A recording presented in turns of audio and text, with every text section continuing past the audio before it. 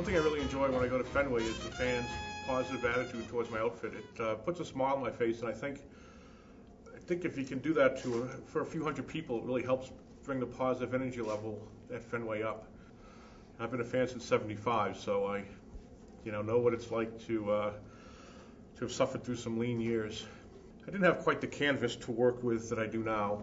Um, many years of uh, Fenway Franks and Sam Adams have helped me become what I am.